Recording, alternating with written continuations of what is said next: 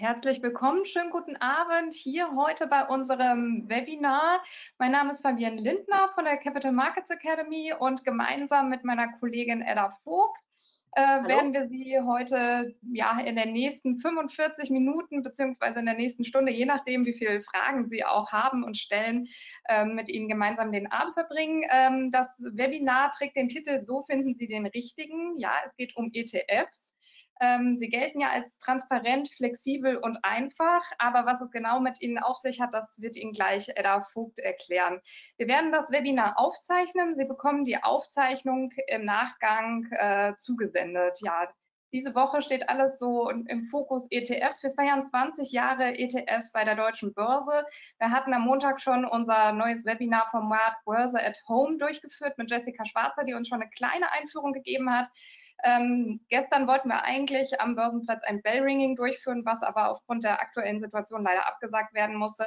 Und deswegen heute Abend ein langer ETF-Abend mit Edda Vogt, die nochmal ausführlich erklärt, was sind ETFs, wie finden Sie sie und wie ordern Sie sie.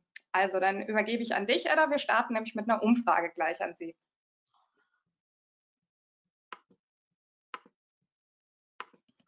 Wir möchten von Ihnen wissen, ob Sie bereits ein Depot haben na, wäre schön, wenn einfach mal kurz eben Ja oder Nein äh, angeben. Wenn Sie es nicht mehr wissen, haben wir in dem Fall als Möglichkeit weggelassen.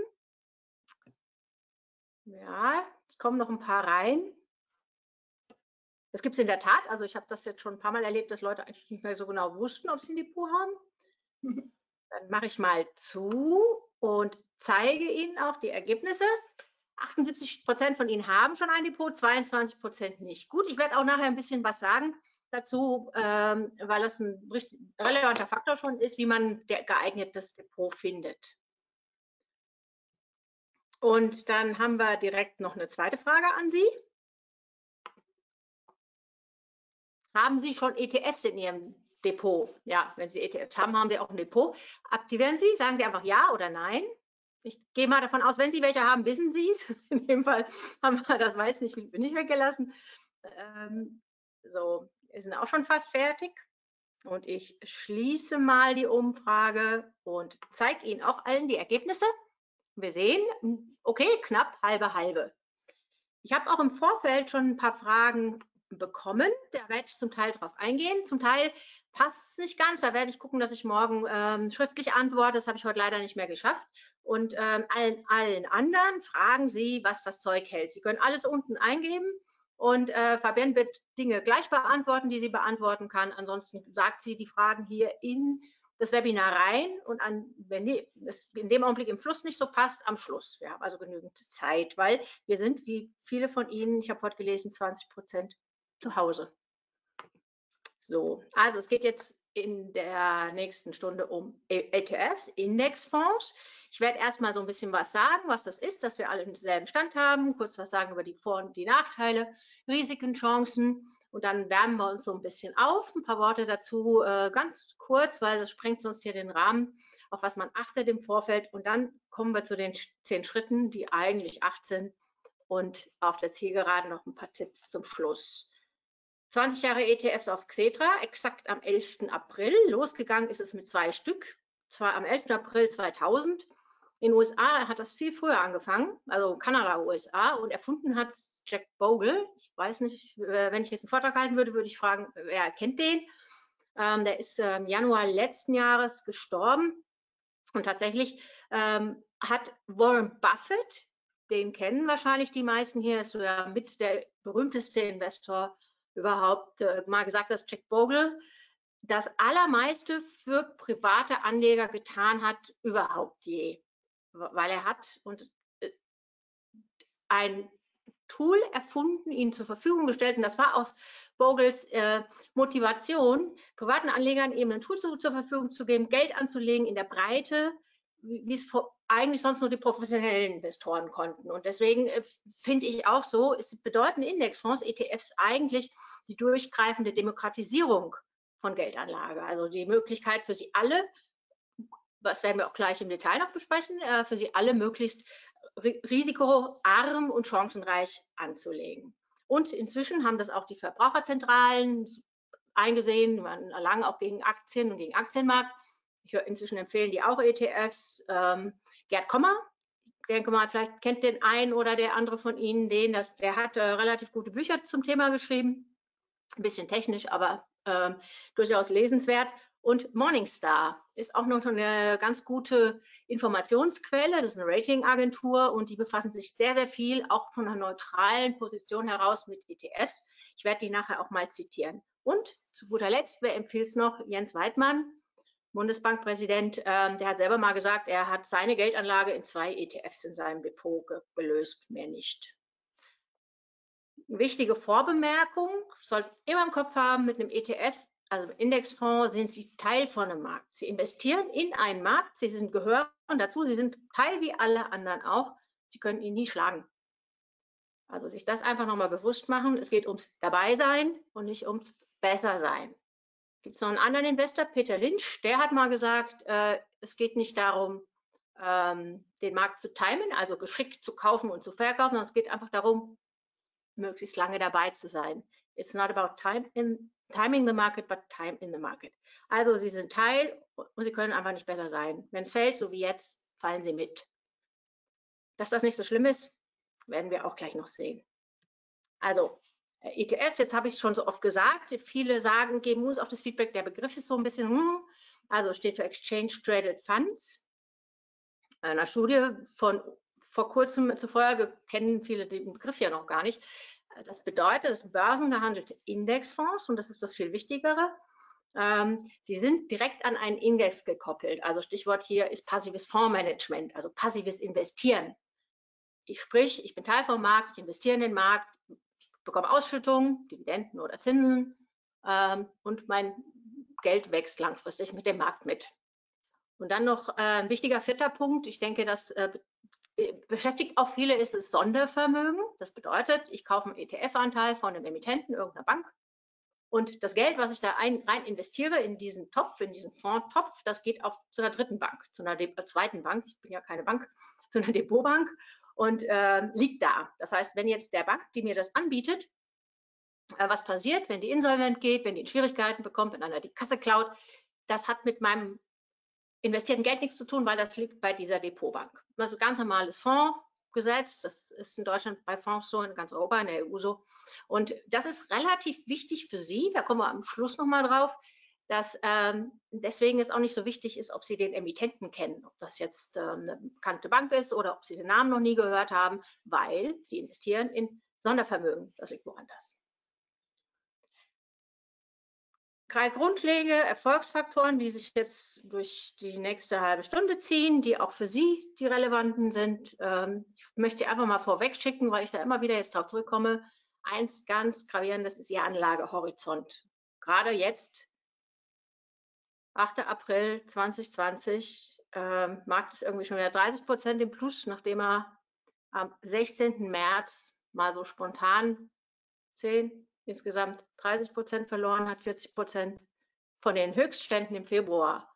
Also es ist holprig. Wir haben momentan eine Volatilität, also eine Kursschwankungsbreite, also nach oben und nach unten aufs Jahr von 50 Prozent. Das sind drei, vier Prozent pro Tag nach oben und nach unten dieses Risiko, das ist ja das, was dahinter steht, das ja, Anlagerisiko, das können Sie durch den Anlagehorizont, also durch den Blick, je weiter Sie, Sie Ihren Blick nach in den Horizont richten, ich gucke jetzt auch mal hier so ganz weit raus, und umso äh, kleiner wird tatsächlich an der Stelle Ihr Risiko.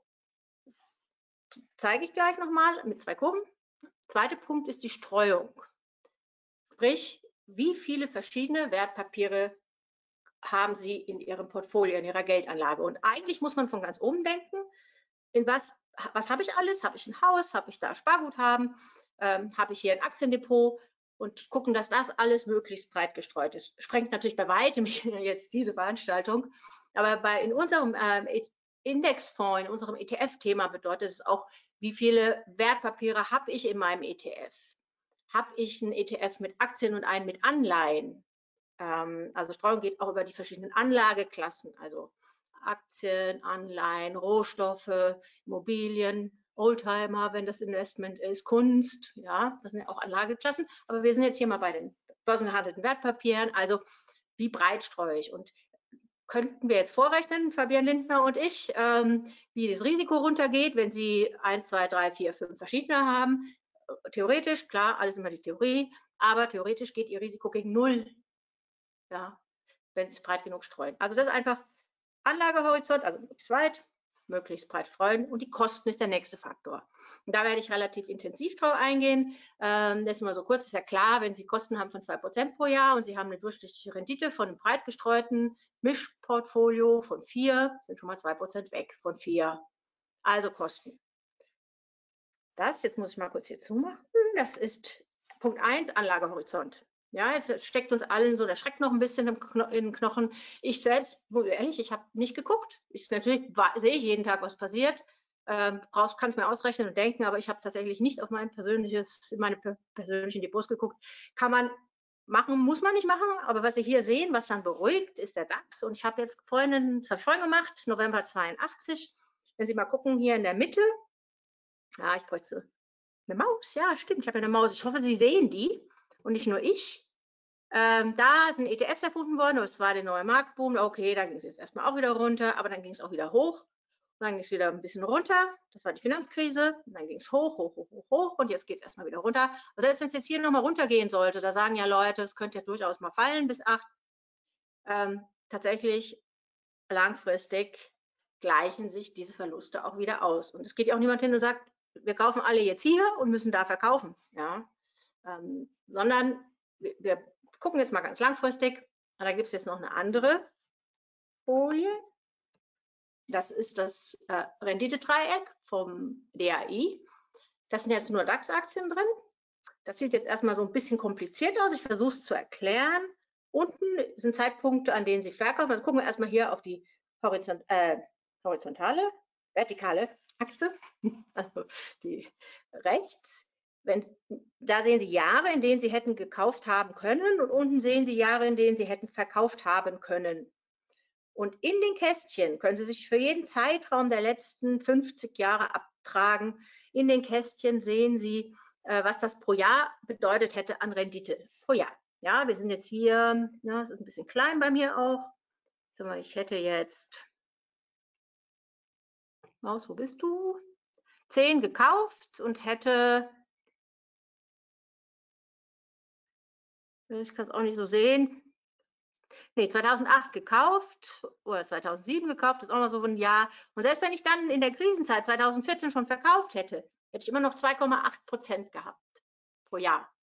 Okay, das ist jetzt je grüner, desto höher, je röter, desto größer der Verlust. Aber was Sie da halt sehen, ist, dass diese Verluste klammern sich so am Rand von diesem Dreieck. Das heißt, die Kurzzeit-Anlagezeiträume in den schlechten Phasen haben Sie überhaupt nur äh, ein Minus. Und wir sagen, dass man so einen Anlagehorizont von 10, 11, 12 Jahren haben sollte, ähm, um diese Verluste auszusetzen. Markus Koch sagt, der aus New York, äh, S&P 500, keine Phase länger als 13 Jahre war der auch ganz lange geguckt im Minus. Die Ehen gehen früher kaputt in der Mehrheit, sagt Markus Koch. Das sei teurer. Ähm, also der Renditedreieck, dazu muss man natürlich wissen, das ist äh, Vorkosten und das ist auch noch wichtig, natürlich sind da die Dividenden drin. Wir reden ja hier über den DAX. Das Ganze, wenn Sie das haben ne, für andere Indizes, solche Vergleiche, müssten Sie immer gucken, ob die Dividenden drin sind oder nicht. Weil beim klassischen DAX, wie wir ihn kennen, sind die Dividenden mit einberechnet. Das ist ein Performance Index. Okay, Faktor Nummer zwei, also Anlagehorizont, weit. Faktor Nummer zwei ist die Risikostreuung. Habe ich eben schon erklärt kommt zurück, wie auch die ETFs, tatsächlich auf einen guten alten Markowitz. Äh, der hat da auch einen Nobelpreis für gekriegt mit, äh, mit dem Sharp, der vom Sharp Ratio, falls das jemand kennt. Und da geht es dann tatsächlich um diesen Ansatz der modernen Portfoliotheorie. Wenn man alle Eier in einen Korb, tu Korb tut und der fällt runter, dann sind sie kaputt.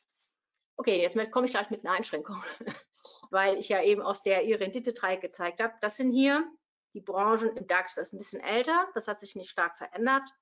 Und was ich damit einfach sagen will, ähm, wenn man diesen Faktor Diversifikation, also Streuung als, als äh, Erfolgsfaktor für Vermögensaufbau nehmen will, als Kriterium, also quasi je breiter Sie streuen, umso weniger können Sie falsch machen. Haben Sie bitte im Kopf, das ist der DAX hier, der hat 30 große größtenteils, nehmen, lassen wir mal so Wirecard und so außer Acht, aber alte deutsche Unternehmen aus ein paar Branchen. Das sind hier nicht so viele und mit einem richtigen Branchenschwerpunkt. Und äh, das heißt, ähm, das ist nicht sehr breit gestreut. Also jetzt einen DAX-ETF zu kaufen, ne, das ist ein bisschen wenig. Für diesen Faktor Streuung. Ja. Und wenn Sie dann noch einen Eurostox 50 ETF dazu nehmen, dann haben Sie gleich ein paar Sachen doppelt. Also das einfach im Hinterkopf behalten. Erfolgsfaktor Risikostreuung. Achten Sie bitte darauf, dass Sie nicht Klumpen da drin haben in einzelnen Branchen, Klumpen in einzelnen Ländern, also nur sogenannte Home Bias nennen wir das. Man mag am liebsten deutsche Aktien, starker Home Bias. Ähm, oder was auch nicht nützlich ist, nur US-Werte oder so. Also, okay, der zweite Punkt, warum wir hier überhaupt über ETFs sprechen, der geht so ein bisschen in den Kostenfaktor rein, ähm, weil man könnte ja auch sagen, das, was ich bislang gesagt habe, ähm, Anlagehorizont und Streuung, das trifft ja auf alle Fonds zu. Also auch auf die klassischen Publikumsfonds. Von denen gibt es in Deutschland, ich glaube, 7000. Ähm, gibt es schon immer. Ist eigentlich so das klassische Anlageinstrument, weil es kommt ja man Hauptpunkt, Argument für ETFs, deswegen hören Sie hier jetzt wahrscheinlich auch zu, sind besser als aktive, sagt man so. Dem gehe ich jetzt natürlich mal nach, also das will ich ein bisschen begründen. Ich habe hier eine Statistik, die ist von Standard Poor's, das ist online, das können Sie sich angucken, äh, kostenlos. Einfach diesen Link, wir, äh, wir schicken auch im Nachgang noch die Links. Ähm, und da sehen Sie, was die machen ist, die gehen hin und nehmen Fonds, bestimmtes Segment, bestimmter Zeitraum und vergleichen die mit ihrer Benchmark. Also jeder aktiv verwaltete Fonds, also die meisten, haben eine Benchmark. Sie sagen, ich messe mich am S&P 500 oder ich messe mich hier in dem Fall jetzt an dem S&P Europe 350. Das sind die 350 größten börsennotierten Unternehmen in Europa drin. Und dann mit dem vergleiche ich mich. Und Standard Poor's rechnet einfach aus, wie viele Fonds sind tatsächlich besser als ihre Benchmark. Und rauskommt, in dem Fall heißt das, 77 Prozent sind nicht besser als ihre Benchmark. Das heißt, sind nur 23 Prozent besser. fünf Jahre. Drei Jahre, das ist 82 Prozent, die nicht besser sind und auf ein Jahressicht schaffen es nur 10 Prozent. Ähm, das ist das, wo man sagt, ETFs seien einfach besser als aktiv verwaltete Fonds. Jetzt muss ich dazu halt, ähm, äh, ich finde die Erklärung auch gar nicht so, mh, hm, ich finde es auch gut nachvollziehbar. Einfach überlegen, wir sind, äh, es ist alles gut für Sie, ja, äh, unheimlich transparent inzwischen hier in den Märkten, in den Informationen, in den Nachrichten. Jeder hat jede Info immer gleich, wenn er das haben will. Jeder, jede kann sofort irgendwas tun, handeln. Das ist alles ganz fix, ganz transparent. Zugänge sind ganz niederschwellig geworden. Wie soll da einer besser sein, Fondsmanagement? Wie soll die der, sollen die in der Lage sein, jetzt irgendwie den Gesamtmarkt zu schlagen? Das kann man irgendwie nachvollziehen. Ähm, der zweite Faktor, jetzt sind wir wieder bei den Kosten. Ja, klar, da sind nämlich äh, in dem Fall sind die Kosten drin bei den aktiv verwalteten Fonds. Bei den Benchmarks nicht. Gleich für den Hinterkopf löse ich gleich auf, weil logische Frage, kann man das miteinander vergleichen? Ja, kann man trotzdem miteinander vergleichen. Also höhere Kosten und trotzdem wenig, geringe Chance, besser zu sein. Aber jetzt kommt gleich die Einschränkung, das gilt so nicht immer. Jetzt ist hier noch mal eine andere Statistik, die ist von Morningstar. Das finden Sie auch bei denen auf der Internetseite. Die machen das auch für verschiedene Kategorien und verschiedene Zeiträume. Sieht jetzt schon nicht mehr so schlecht aus. Ich habe vorhin eine gefunden, das ist jetzt, habe ich die leider nicht ausgetauscht. Da waren wir bei asiatischen Aktien ohne Japan, Erfolg ein Jahr, irgendwie waren 70 Prozent der Fonds besser als die ETFs. Das Gute an der Morningstar-Statistik, da sind ähm, die Kosten bei den, also die vergleichen ETFs mit Fonds, mit Publikumfonds, also aktiv verwalteten Fonds. Und deswegen sind an der Stelle ähm, die Kosten bei den ETFs auch drin. Immerhin, sie haben immer noch einen großen, sehen, die meisten Felder sind rot. Ja, und rot heißt hier 15 Jahre, von denen, die noch übrig sind, große weltweite Aktien. 7% der aktiven Fonds sind besser als die ETFs und 93% der ETFs besser. Problem Kosten. Ja, also zum einen Transparenz, wie kann ich das noch und zum anderen Kosten.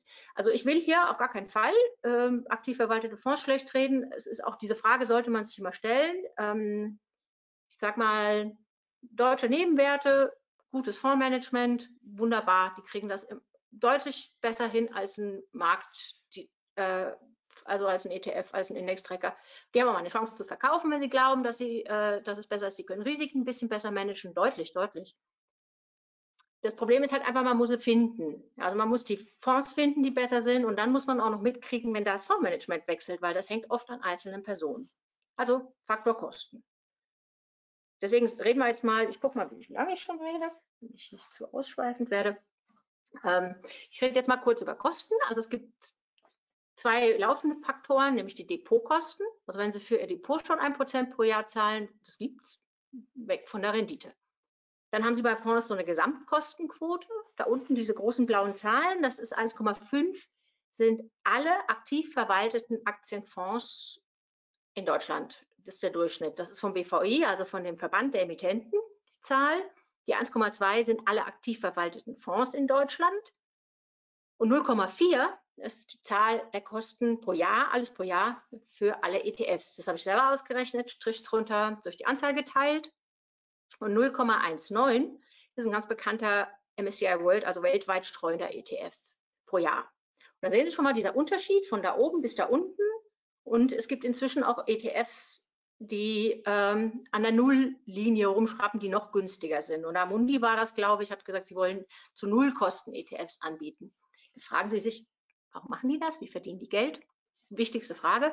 In der Tat glauben die, dass sie durch äh, den Handel, durch Geschick beim Handel, durch ähm, die müssen ja handeln, die müssen umschichten, durch Wertpapierleihe etc. ihre Kosten tragen können. Und jetzt kommen wir wieder zu einem weiteren Vorteil von Ihnen ähm, die sind in einem unheimlichen Wettbewerb miteinander, die ETF-Anbieter im Moment. Sprich, die machen einen Preiswettbewerb.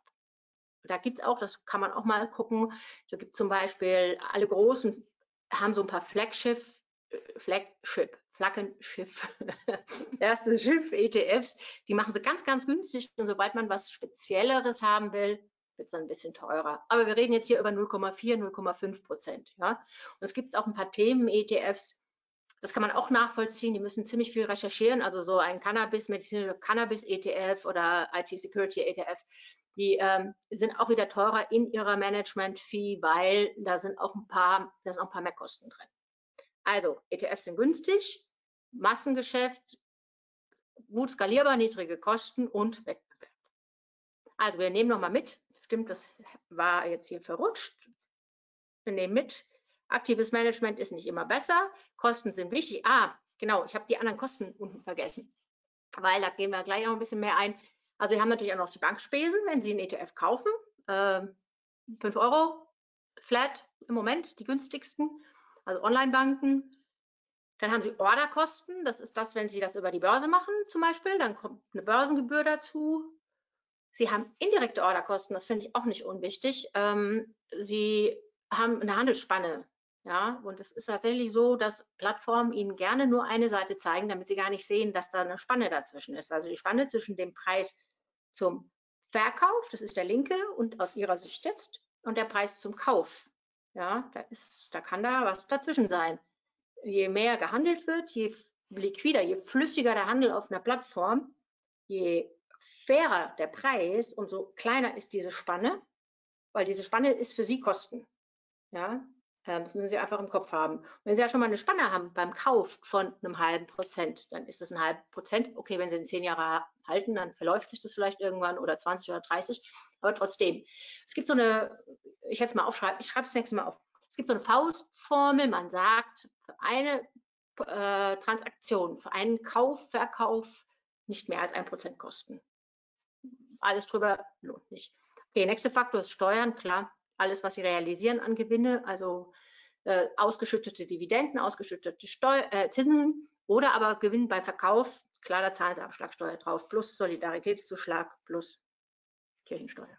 Kirche. Da konnten wir kurz eine Pause machen, bevor es weitergeht. Ja. Ähm, grundsätzlich ja. nochmal die Frage klären, was sind ETPs und was sind ETCs? Also ich glaube, das ist für das Plenum ganz interessant, wenn wir die mhm. Frage nochmal klären sehr wichtig. Ich gehe auch mal kurz aus dem Bild und hole ein Wasser. Ich habe vergessen, neben mich zu stellen. Genau. Also Sie ETF fragen ja schon fleißig, stellen Sie gerne weiterhin Fragen. Äh, entweder beantworte ich die direkt oder wenn es fürs Plenum interessant ist, äh, stellen wir die dann laut. Ja, super. Schön. Also schön, wenn Sie fragen. Das äh, gibt uns auch das Gefühl, dass es Sinn macht, was wir hier tun. Ähm, also ETFs, Exchange Traded Funds für Fonds, Sondervermögen. Und da hat sich jetzt in letzter Zeit was entwickelt, also heißt letzter Zeit? Ich glaube, vor zehn Jahren gab es die ersten ETCs. C wie Commodity, Exchange Traded Commodities.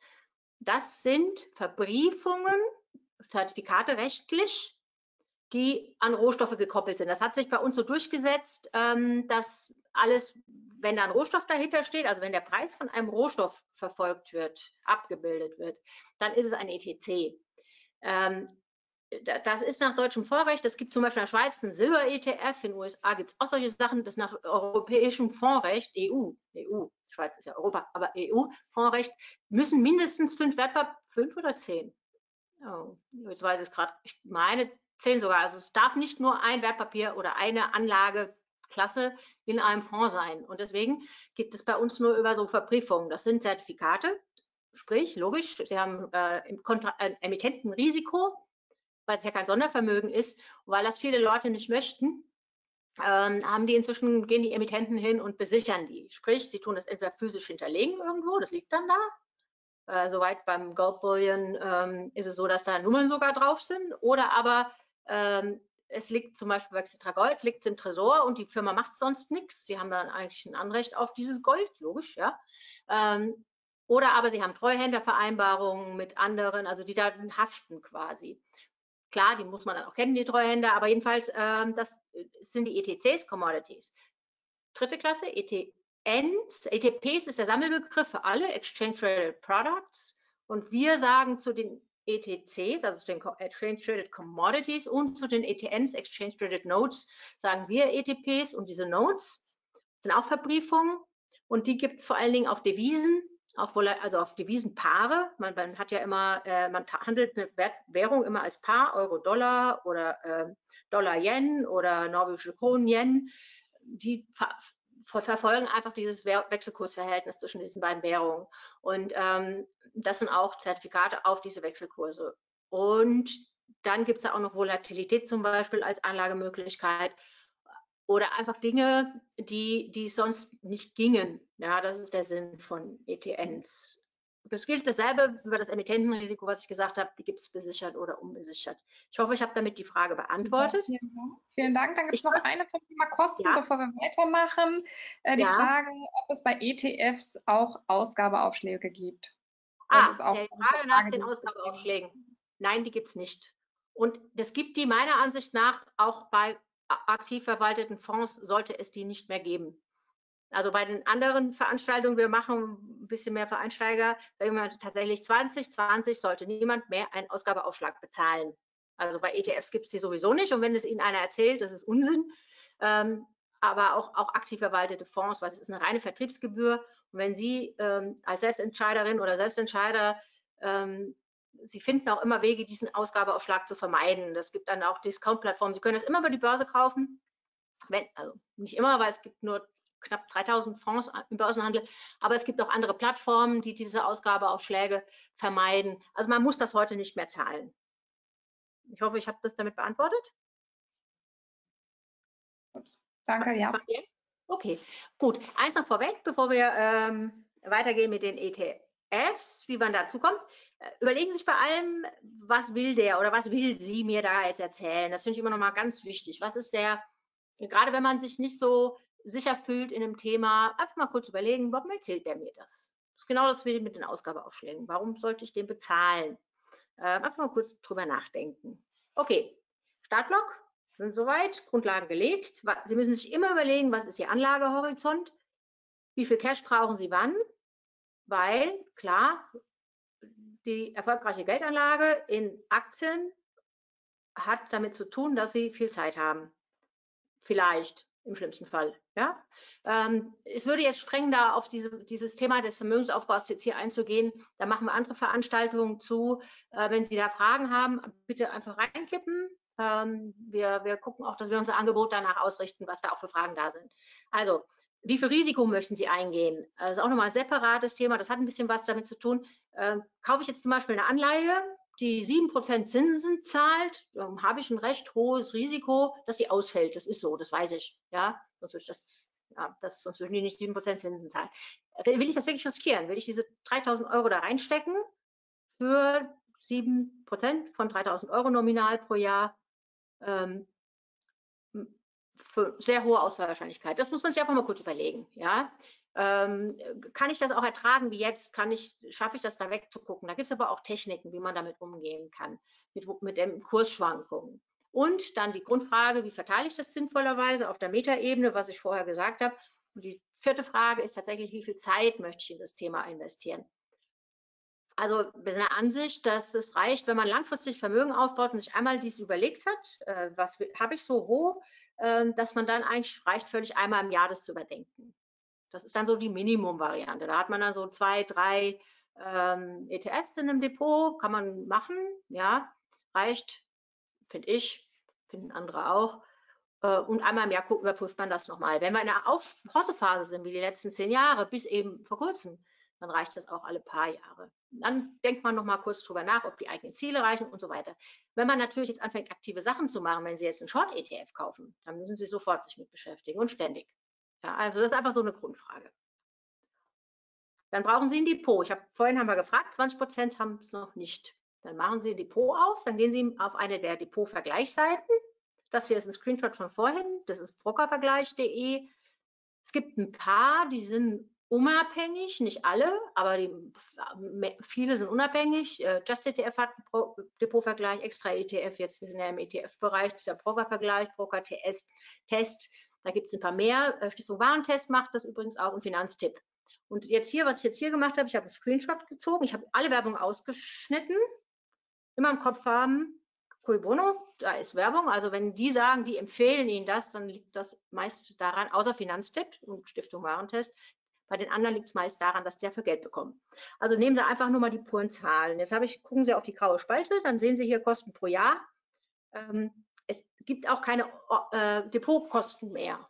Ja, das können Sie auch darauf verzichten. Also quasi, äh, dass Sie pro Jahr so und so viel Prozent zahlen.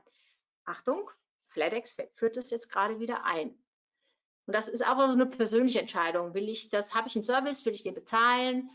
Ähm, dann ist klar, dann ist es das Geld auch wert. Aber wenn Sie sagen, ich möchte das so günstig wie möglich machen, ich habe nur Sparraten von 50 Euro pro Monat, dann achten man auf sowas. Und dann ähm, können Sie hier gucken, dann sehen Sie, das ist einfach, ich habe zugrunde gelegt, es sind nicht die 20 Käufe, sondern ich habe das vorhin gewechselt, das hätte ich anpassen müssen, ich meine 10. 10 oder so Käufe pro Jahr, pro Order 2,90, ach, kann man einfach ausrechnen, es waren 8, ja. Und da zahlen Sie bei Giro 2,90 Euro pro Order Kauf. Kommt 23 Euro bei 8 Order pro Jahr. Smart Broker wird da unten noch ein bisschen billiger, äh, ein bisschen teurer und Cup Trader und dann kommt die Invista, Bank mit 5 Euro flat ähm, pro Order. Äh, da muss man aber dazu wissen, wir sind jetzt bei den billigsten von den günstigen. Ja? Da, da, muss man dazu wissen, dass jetzt alles ganz hektisch wurde. Am 16. März war die Giro eine Weile nicht erreichbar, auch der Smart Broker nicht. Ging alles durch die Medien. Ähm, von anderen weiß ich nicht so. Aber das ist tatsächlich, also je kleiner ähm, oder je günstiger, natürlich umso kleiner ist auch der Service. Das sollten Sie einfach wissen. Die Giro selber, die Ordermaske, ich finde die extrem schwierig. Ich kenne mich gut aus. Ich komme zurecht, wenn Sie sich nicht so auskennen. Probieren Sie es einfach aus. Das Schöne, und jetzt bin ich auch gleich fertig mit meinen Depots, ähm, das Schöne ist, es kostet nichts, den wieder zu wechseln. Dann müssen Sie einen Depotübertrag machen, das ist kostenlos. Und dann sagen Sie, ich habe den ausprobiert, das gefällt mir nicht, zack, weg mit dem Geld. Und das, was wir hier sehen und alle anderen Tests, das ist wirklich jetzt nur die Top-Liste, das ist purer Zufall, dass die da stehen. Die sind alle, äh, fallen alle unter das europäische Anlagegesetz, also um die 100.000 Anlagensicherung. Spar und E, ETF, Sondervermögen ist eh woanders. Ja? Ähm, Sparplan, drei Wörter über Sparplan. Das Schöne an Sparplänen ist kleine Beträge. Es geht ab 25 Euro. Ähm, da, genau da müssen Sie sehr auf die Kosten aufpassen. Ähm, ich, diese, diesen sogenannten Kosten, Durchschnittskosteneffekt, ähm, das quasi mit den dass es dann besser wäre, über Sparplan anzulegen, das ist statistisch nicht, nicht klar. Also das ist nicht bewiesen, das kann man nicht äh, nachweisen. Aber das hat natürlich jetzt pro Sparplan, es diszipliniert sie unheimlich. Sie fragen sich im Moment nicht, will ich was kaufen, sondern lassen sie einfach ihren Sparplan weiterlaufen. Und es geht einfach weg. Die Claudia Müller gibt immer so den Tipp, am ersten Tag, nachdem, wenn man Gehalt bezieht, das Gehalt auf dem Konto ist, raus. Dann sehe ich das gar nicht mehr. Dann geht das weg in den Sparplan. Das ist nicht die dümmste Empfehlung. Ähm, also das ist pro Sparplan. Aber jetzt zu den Kosten. Da müssen Sie wirklich aufpassen. Wenn Sie jetzt diese 25 Euro haben, dann können Sie da nicht 1,5 Prozent Kosten drauf bezahlen. Und leider habe ich vorhin auch gedacht, ich würde es auf einen Blick sehen, habe ich das nicht. Nicht alle rechnen prozentual ab. Also wenn Sie zum Beispiel, Sie machen bei der Comdirect einen Sparplan, dann ist in der Tat so, dass Sie diese 1,5 Prozent nehmen. Nee, die nehmen, das weiß ich jetzt gar nicht. Ach, Mist. Ich meine, die nehmen die 1,50 Euro. Oh, Sie, sehen Sie, jetzt fand ich selber drauf. Ähm, weil ich es einfach nicht im Kopf habe. Müsste ich jetzt nachgucken. Also immer gucken, das darf kein absoluter Betrag sein, sondern es muss ein Prozentbetrag sein. Ähm, da ist Finvesto da unschlagbar. Was die verstecken, dass sie 15 äh, Euro nehmen pro Jahr pro Sparplan und nur ein ETF pro Sparplan. Es ist immer noch, es ist, man findet, aber mühselig, also immer noch der günstigste. Also diese 1%-Regel, wenn Sie eine Rate haben pro Transaktion, sollten Sie nicht mehr als diese 1% bezahlen. Dann sollten Sie gucken, dass Sie ähm, das nicht absolut haben. Also dieser eine Euro ist, fällt ganz schön ins Gewicht. Wenn Sie bei der äh, Onvista Bank sind und nee, zahlen diesen einen Euro und Sie haben nur 25 Euro. Also das einfach mal so ein bisschen miteinander vergleichen. Und äh, wie gesagt, auch Sparpläne, wichtig zu wissen bei Sparplänen, weil eben hier 20 Prozent noch kein Depot haben, das gehört ja Ihnen. Das ist ja nicht so wie ein Vertrag. Sie nehmen das ja nicht, also Sie nehmen einfach Ihre Wertpapiere, wenn Sie den Sparplan auflösen, verkaufen die entweder oder Sie nehmen sie mit auf das nächste Depot. Ach, und noch ein Tipp bei, ah nee, machen wir nachher bei der Suche. Und dann jetzt nochmal zwei Sätze zu ähm, Robo-Advisern, weil das kommt eigentlich auch immer. Im Robo-Advisor ist eigentlich nichts anderes, aber da gibt es auch die Bandbreite von Kirion, ganz simpel, bis hin zu, ähm, oh, wie heißen sie, von Dr. Jens Erhard Capital, wie heißt er? Solid? Die machen tatsächlich aktive Aktienbewertung verpackt in einen Robo-Advisor. Ist nicht verkehrt, weiß, keine Ahnung, das will ich damit nicht sagen, aber das ist halt die Bandbreite. Und eigentlich, was diese Robo-Advisor vor allen Dingen machen, ist die Rebal machen eine Rebalancing von ihrem Depot. Also die, die, sie sagen einfach, was sie für eine Erwartung haben und was sie für einen Risikohorizont haben und was sie für ähm, Anlagehorizont haben und was sie für eine Risikotoleranz haben und dann bauen die das so zusammen und das kostet halt auch. Und deswegen Kosten, da bin ich gerade. Ähm, ich weiß, bei Kirion ist bis 10.000, glaube ich, kostenfrei und danach kostet es unter einem Prozent. Auch Weltsparen ist unter einem Prozent. Also, aber rechnen Sie mal im Endeffekt einfach, wollen Sie das, diesen Luxus sich gönnen, dass jemand das selber für Sie übernimmt, das Zusammenbauen, ähm, dann ist es Ihnen das wert und schlagen Sie das auf die Gesamtkosten. Weil wenn Sie jetzt fürs Depot jetzt noch was bezahlen und da wieder noch was bezahlen, ah ja, aber ganz wichtig, bei den äh, ähm, Robo-Advisern zahlen Sie für die Umschichtung nicht. Also diese Ordergebühren, die Sie haben, wenn Sie selber sagen, oh, jetzt kaufe ich nochmal zwei Aktien nach und verkaufe wieder Anleihen oder andersrum, die haben Sie natürlich dann. Und letzter Punkt dazu, das ändert sich alles ständig. Das war so eine Momentaufnahme im Februar beim Vortrag hier vor Ort. Da habe ich einfach mal nur eine News-Seite genommen. Ich glaube, das ist äh, Just ETF oder ETF, ich weiß gar nicht mehr. das waren die News in der Reihenfolge, wie sie da kamen. Das habe ich nicht zusammengestellt. Äh, schafft ab, nimmt jetzt doch Geld. Also diese, was ich am Anfang gesagt habe, Sie sollten sich überlegen, wie viel Zeit Sie investieren wollen. Ähm, es gibt Menschen, die sind gern Pfennigfuchser, meine ich auch überhaupt nicht negativ, das Wort ist ein bisschen negativ. Äh, die gucken gerne, wo ist es am günstigsten und machen, investieren da gerne Zeit und Geld rein. Aufwand. Geld nicht Aufwand. Andere wiederum nicht so. Also ähm, das sollte man einfach im Kopf haben. Das kann sich auch alles permanent ändern. Die Vergleichsadressen bekommen Sie mit. Und jetzt kommen wir zu den acht Schritten sind es eigentlich. Also, weil wir haben uns nämlich oh. aufgewärmt, das wissen wir. Genau, ja. dann machen wir nochmal eine kurze Fragepause. Ja, ähm, wir als Börse werden gefragt, was wir denn vom Broker Trade Republic halten. Das passt ganz gut in den Blog von Eben. Ja, ja, da wollte ich am Schluss noch mal was zu sagen. Darf ich das vertagen? Ähm, ja, dann vertagen wir das gerne. Ja. Ich werde noch was zu Plattformen sagen, weil äh, ich möchte noch ein bisschen was erklären darüber, wie die funktionieren. Wunderbar. Ja. Mhm. Ähm, okay, dann also Schritt zwei, wählen Sie eine Anlageklasse. Da habe ich auch schon drüber gesprochen. Also sagen Sie jetzt Aktien oder Anleihen. Jetzt bleiben wir mal in dem Universum.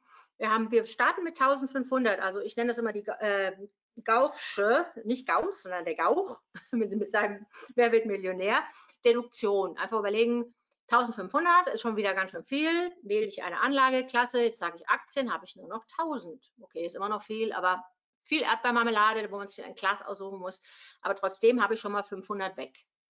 Da wähle ich Schritt 3 einen Markt. Mit Markt will ich sagen, oh, deutsche Aktien, das ist auch europäische Aktien. Glauben Sie an die USA, S&P 500, 500 US-amerikanische Werte oder wollen Sie so weit diversifizieren, so weit streuen, wie nur geht? Da sind wir jetzt beim MSCI World All Countries oder beim FTSE All Countries. Da sind 3500 Aktien drin.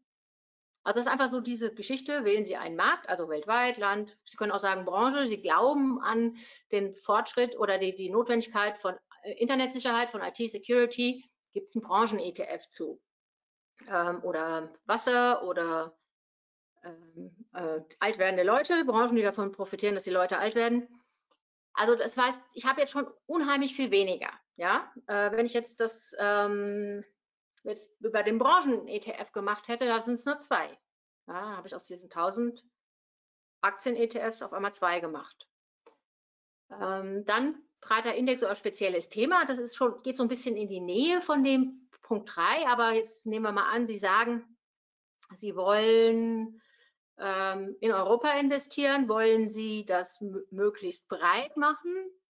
Wollen Sie 3500 Aktien haben oder wollen Sie sich fokussieren auf den Eurostox 50? Das meine ich mit breiter Index oder spezielles Thema. Also wenn der langfristige Horizont für Sie das Wichtigste ist, ähm, und dann sagt man eigentlich so, umso breiter, umso besser, weil mit je breiter, desto eher kriegen Sie das Risiko da raus.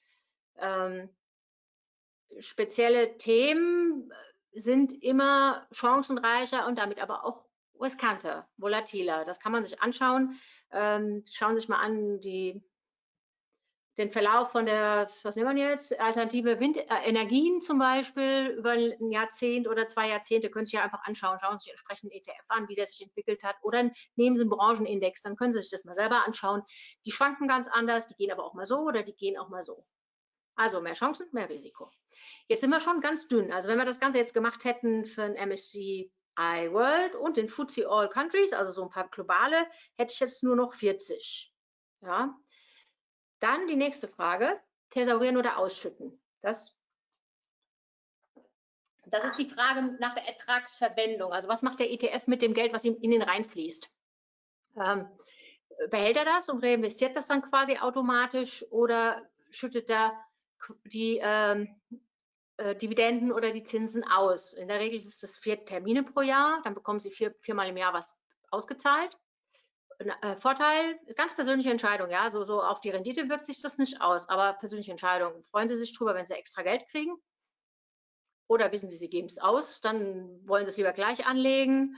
Ähm, einziger Nachteil ist, Steuer müssen Sie gleich zahlen auf die Ausschüttung. Das ist auch eine Bemer Bemerkung am Rande. Und wir, wir, empfehlen eigentlich, wenn Sie äh, langfristig denken und nicht selbst das Geld wieder anlegen wollen, ständig, dann nehmen Sie was Thesaurierendes, weil die natürlich den Vorteil haben, dass äh, sie auch diesen, ich nenne es jetzt mal Zinseszinseffekt, also das heißt, das Geld wird gleich wieder angelegt und deswegen steigt ihre Rendite so. Das gilt natürlich auch für Dividenden. Da gibt es kein Wort für. Oder wenn einer ein Wort hat, bitte an die Fabienne schicken, der Dividenden-Dividendeneffekt oder so. Also, das ist die Grundfrage, thesaurieren oder ausschütten.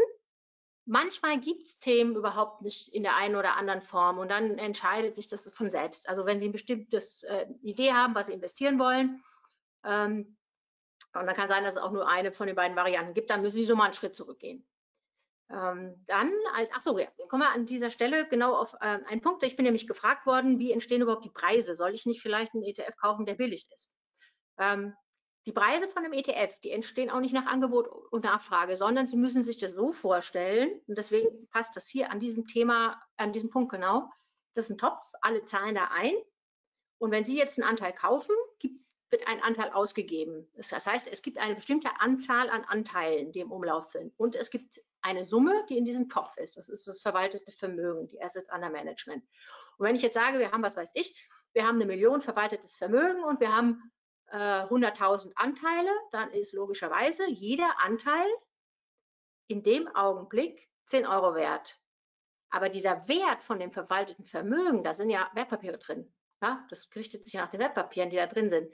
Der steigt ja, die steigen ja. lassen wir mal alles konstant, die steigen und fallen mit den Preisen von diesen Wertpapieren. Sprich, dieser Topf steigt und fällt, aber es sind immer noch diese 100.000 Anteile.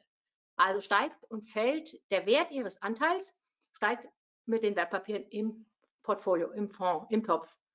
Und deswegen ähm, hängen die Preise wirklich von den Wertpapieren da drin ab und nicht, wie viele den jetzt nachfragen oder, oder äh, wie viele den jetzt abgeben. So, es gibt da einen Market Maker, der macht permanent neue Anteile und kauft dafür die Wertpapiere. Jetzt sind wir beim nächsten Thema. In der Regel kauft er dafür die Wertpapiere.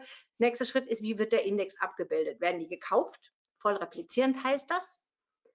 Also kaufe ich die 30 DAX-Aktien in der Gewichtung, in der der DAX zusammengesetzt ist, oder aber auch eine Möglichkeit, kaufe ich nur einen Teil, nur die großen, das nennt man dann teilreplizierend oder optimiert. Ähm, hat einen Vorteil, stellen Sie sich vor, 3600 MSCI All Countries Anteile, wenn die permanent gekauft werden müssten. Oh, jetzt weiß ich, was ich vergessen, einen wichtigen Punkt vergessen, ich schreibe mal auf. Also wenn die permanent gekauft werden müssten, dann äh, wäre das ganz schön teuer. Sprich, da optimiert man dann besser. Und es gibt auch Wertpapiere, die kann man gar nicht kaufen, leicht als ausländischer ETF-Anbieter zum Beispiel, vietnamesische Aktien oder türkische Aktien gibt es auch ein Problem. Und da äh, sozusagen gibt es nur die dritte Variante, das geht dann über Swaps, also über so Tauschgeschäft, also sozusagen ein, ein Differenzgeschäft mit einem Dritten, das ist der Kontrahent. Und der wiederum ähm, gewährt, dass der Index direkt abgebildet wird. Risiko, jetzt sind wir bei dem Wort Kontrahentenrisiko. Das war eine Weile ganz schön in der Diskussion. Der kann natürlich ausfallen, also insolvent gehen, wegfallen aus irgendeinem Grund. Risiko ist begrenzt, also möchte ich jetzt auch gar nicht lange diskutieren. Das ist meiner Ansicht nach eher so ein emotionales Thema. Äh, gucken Sie mal, ob es den ETF, den Sie haben wollen, ob es den in beiden Formen gibt. Also gibt es den als Swap-basierten, gibt es den äh, vollreplizierten. Nehmen Sie das, womit Sie sich besser fühlen. Manchmal gibt es nur Swaps. Aber es ist tatsächlich eher ein emotionales Thema als ein tatsächliches. Und jetzt nochmal zu dem Punkt zurück, weshalb ich das vorher mit dem Thesaurieren, dem Ausschütten, den Preisen eigentlich erklären wollte. In diesen Topf fließen natürlich diese ganzen Gewinne, die der ETF macht, rein. Und deswegen steigt quasi der Wert Ihres Anteils, steigt in, äh, mit den Einnahmen des ETFs. Und wenn der Wertpapiere verleiht, jetzt sind wir beim nächsten Punkt, Wertpapierleihe, werden wir nämlich auch immer gefragt, das machen die, die haben dann ganz viele Aktien, dann verleihen die die an Shortseller. Dafür kriegen die Geld, das fließt da rein. Ja, das kann man sich einfach so vorstellen. Also wir sind jetzt bei Schritt 6. Wenn ich jetzt sage, ich hätte gerne einen voll replizierenden äh, MSCI World, habe ich dann irgendwie nur noch 12. Tatsächlich, so ist es. Oder 10. Schritt 7, mit oder ohne Wechselkursabsicherung. Und jetzt sind wir schon quasi ganz runter auf den Boden gekommen. Ähm, das bedeutet, gehen, stellen Sie sich vor, Sie kaufen jetzt einen S&P 500 ETF, da sind 500 Aktien drin aus USA. Die werden natürlich in Dollar gehandelt. Und deren Preis fällt und steigt tatsächlich nach der Börse da und für Sie zusätzlich aber noch mit dem Euro-Dollar-Verhältnis, das zu Ihren Gunsten oder zu Ihren Ungunsten.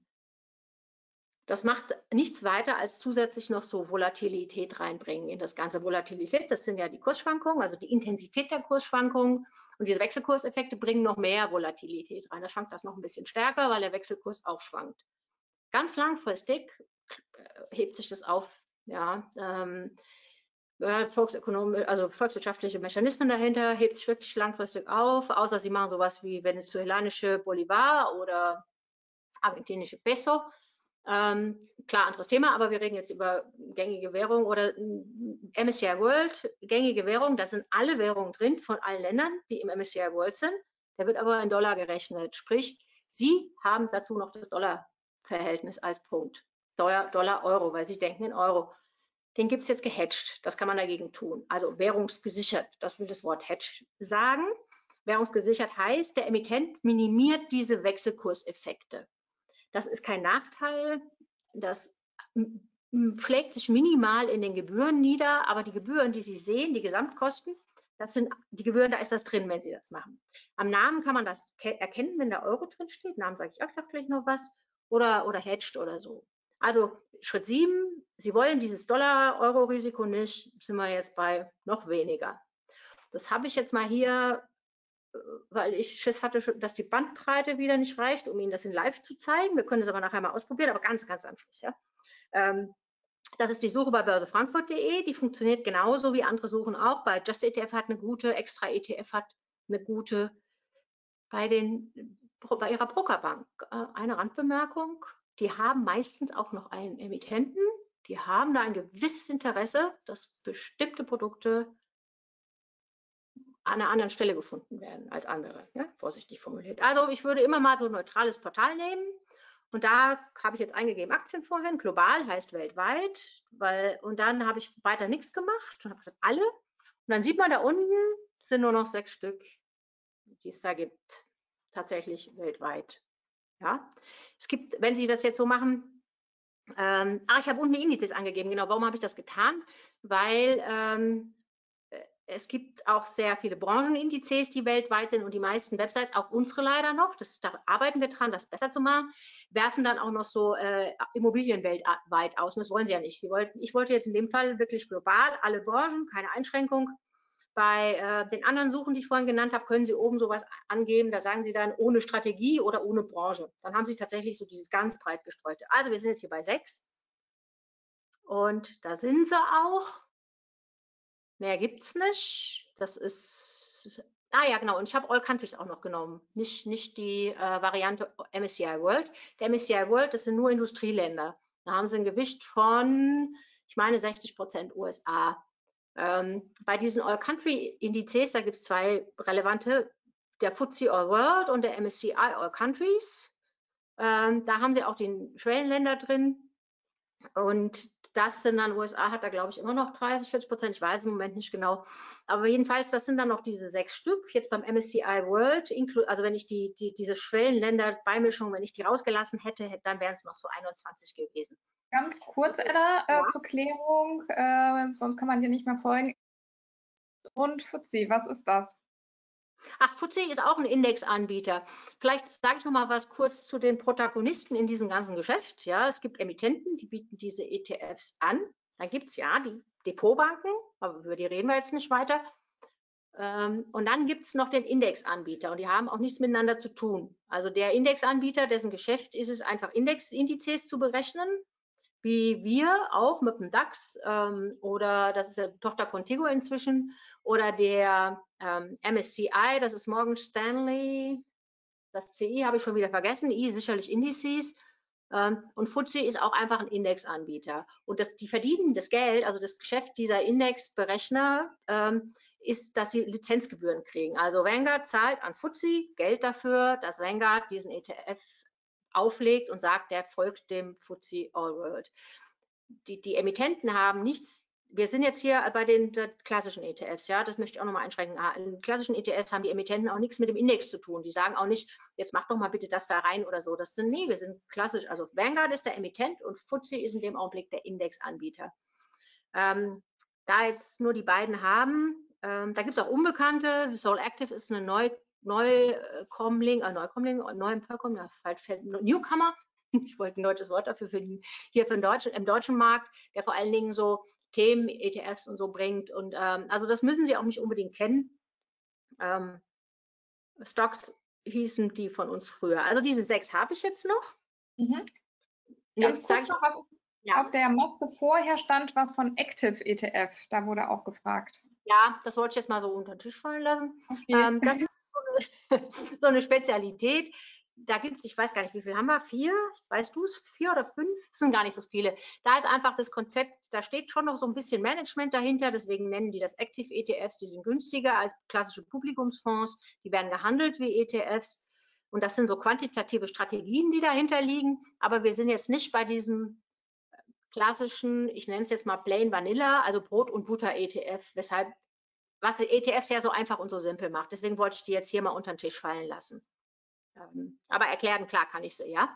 Also, aber wir reden tatsächlich, weil wir reden ja über langfristige Vermögensaufbau mit einfachen, transparenten Instrumenten und das würde ich sagen, sind die dann nicht mehr so, so sehr wie die, New, äh, wie die klassischen einfachen ETFs. Da gibt es ja auch so Geschichten wie äh, Smart Beta und so, da könnten wir auch mal einen ganzen Abend drüber sprechen. Und da sind wir jetzt schon ein bisschen weiter weg eben von diesem sehr einfachen und dadurch aber auch sehr überzeugenden Konzept. Namen, äh, da gehen wir auch gleich nochmal zurück. Äh, das ist jetzt leider nicht live, deswegen sieht man die ganze Länge dieser Namen nicht. Das geht man sonst mit einem Mouse over, also mit so einem Point, so einem, man drückt da drauf, dann sieht man es. Steht vorne immer der Emittent In dem Fall jetzt in meinem Beispiel ist es X-Trackers, das ist die jetzt zur DWS gehörende Deutsche Banktochter. Ähm, dann steht da der Indexname, eigentlich immer S&P 500 und UCITS ETF, das sind so regulatorische Hinweise. Also wenn da UCITS ETF steht, heißt das, es ist nach europäischem Fondsrecht ein ETF, ein Fonds, Sondervermögen. Ja, OGAF hieß das früher, das ist einfach nur so für Sie. Und wenn dann danach kommen so Merkmale, Anteilsscheinklasse ist so ein technischer Begriff aus der Branche. Ähm, das sind so Merkmale. DE, DR heißt Direct Replication, also direkt replizierend. Der bildet es voll ab und der ist gehatcht. Und zwar Euro gegen S&P 500, in dem Fall Dollar. Ähm, also hat eine Währungssicherung Euro gegen Dollar drin. Und wenn ich jetzt nochmal hochgehe, da kann man es nicht, ich habe kein Mouse-Over, aber da ist auch USITS ETF, USITS ETF US-Dollar, diese iShares All Country ist nicht gehatcht. Das sieht man hier direkt am Namen. Und je komplexer diese ähm, ETFs dann auch werden, umso mehr kann man da rauslesen. Weshalb das gut ist, weil wenn Sie so eine Liste haben und Sie haben schon alles, sind schon bei Schritt 8, dann gucken Sie mal, dann sehen Sie schon am Namen, oh, das will ich aber nicht. Ja, das hilft einem so ein bisschen bei der Übersicht. Okay, also wir haben jetzt noch sechs. Ich habe mich jetzt mal hier fokussiert auf All Country, die zwei Indizes, die es gibt, die beiden großen, thesauriert oder schüttet aus. Das kann man auch übrigens am Namen sehen. ACC, Accumulating, heißt thesaurierend. Ausschütten ist D-Distributing. Ähm, jetzt muss man den noch aussuchen. Jetzt hätte ich, wenn Sie, wir jetzt einen Vortrag gehalten würden, würde ich Sie fragen, ist das jetzt einfach oder haben Sie noch ein paar Fragen? Ja, der eine oder andere findet das nicht einfach, deswegen gebe ich jetzt noch ein paar Tipps. Punkt 1, Gesamtkostenquote. Sie können ohne Probleme einfach den billigsten nehmen. Machen Sie ja beim Einkaufen auch. Warum nicht? Ja, dann können Sie Tests lesen. Jetzt gehen wir mal zurück. Ja, dann machen wir das doch mal hier so. Da sehe ich Kosten, Kosten, die stehen hier irgendwo. Laufende Kosten. Also wenn ich jetzt nach meinem Kostenpunkt gehen könnte, würde, würde ich mich für einen der Vanguards entscheiden. FTSE All World Usage ETF, wahrscheinlich, ich weiß gar nicht, müsste ich jetzt reinschauen, wie die sich unterscheiden. Ähm, aber dann hätte ich schon mal zwei. Dann gucke ich noch, was der Unterschied zwischen den beiden. Ähm, Vanguard ist übrigens eine der größten Emittenten weltweit. Die kennen wir in Deutschland noch nicht so. Die haben jetzt, glaube ich, 20 bei uns im Angebot. Erst seit letztem Jahr. Das ist die Firma von Jack John Bogle, äh, der, die er gegründet hat. Das ist eine, ähm, na, eine, nicht kooperative, wie heißt es? Fällt mir gleich ein. Genossenschaft. Äh, keine Privatbank und auch keine sonstige Bank. Und also, ich habe jetzt Gesamtkostenquote kann aber auch die anderen nehmen. Also wir reden jetzt hier über 0,4, 0,6, also das ist wirklich jetzt nicht mehr so der Unterschied im Vergleich zum aktiv verwalteten Fonds mit 2,1. Und dann kann ich mir Tests durchlesen. Also ähm, ich, gibt ein paar Portale, wenn das jemand interessiert, melden. Es gibt ein paar Portale, die haben recht gut ETFs getestet, glaubwürdig. Dann, wir haben so ein ETF-Magazin, das wir alle drei Monate veröffentlichen. Das ist, wir finanzieren das nur mit, also das ist so eine unabhängige Publikation. Die testen auch öfter ETFs. Die finde ich ganz gut auch, diese Tests. Und letzter Faktor, tatsächlich Größe des verwalteten Vermögens, weil die machen auch ab und zu mal zu und gar nicht so wenig. Also ich glaube, bei, wir haben jetzt 1500 noch, äh, 500, 600 haben in den letzten 20 Jahren auch schon zugemacht. Ähm, das liegt dann daran, dass sie zu klein bleiben, dass sie sich nicht lohnen oder dass Konsolidierung in der Branche, dass sie auch zusammengelegt werden. Aber Sie können davon ausgehen, je größer das verwaltete Vermögen von so einem ETF, umso weniger, ähm, umso kleiner die Wahrscheinlichkeit, dass die zumachen. Und man sagt so in der Branche, ich zitiere jetzt einfach mal Konsens, 50 bis 100 Millionen, dann lohnt sich erst so ein ETF. Und wir gucken jetzt mal hier hinten, das ist Assets under Management, also verwaltetes Vermögen, Geld im Topf. Vorletzte Spalte, da haben wir bei dem Vanguard 3,38 Milliarden, 1,96 Milliarden bei dem Spider. Spider ist der, äh, einer der, der, ältesten ETFs, äh, ist übrigens der Spider auf dem S&P 500, das ist der größte weltweit. Das ist, ja, ich hab, kann mir die Zahl immer nicht merken. Äh, unser halbes Bruttosozialprodukt steckt in dem ETF, sowas in der Größenordnung. Das sind ein paar, paar Billionen, oder? Vertue ich mich jetzt hier? Ich glaube, eine halbe Billion ist es auf jeden Fall. Ähm, also man kann sich so große Zahlen irgendwann nicht mehr so gut merken. Und Sie sehen unten drunter, der ist auch noch recht groß. Also die hier sind alle echt groß. Aber ist natürlich klar, je, je spezieller ein ETF ist, also je spezieller das Thema, dann gilt auch diese Regel manchmal nicht so. Also wenn Sie jetzt zum Beispiel sagen, ich will jetzt investieren in rechtsdrehende Milchsäure-Joghurtproduzenten, das ist klar, da ist nicht so viel drin. Und, oder nehmen Sie den, den Cannabis-ETF, der ist auch noch ganz jung. Da ist natürlich auch noch nicht so viel drin, weil sollten Sie, also bevor, wenn Sie sich für den ETF entscheiden, der gefällt Ihnen total gut und da sehen Sie, oh, da ist aber nicht so viel Geld investiert, dann schauen Sie auch mal aufs Alter und überlegen sich einfach, je spezieller das Thema, umso kleiner sind die auch. Aber wir reden ja über so Näherungskriterien und deswegen Größe kann da ein Entscheidungskriterium sein. Was ich na, immer noch mache, ich lasse jetzt mal Tracking auch so weg, das wird zu kompliziert und sprengt auch jetzt den Rahmen. Oh, oh ja, ich merke, ich spreng den Rahmen. Ähm, ich komme auch gleich zum Ende. Und ähm, was ich immer noch mache, ich gehe auf die Website vom Emittenten, weil da sehe ich die Zusammensetzung, auch manchmal als Torte und so. Und wenn mir das gefällt, dann kann ich mich einfach auch als Nase entscheiden. Dann noch drei Sätze zu Order mit geschicktem Zeitpunkt und Limit. Also Sie können ja eine Sparplan.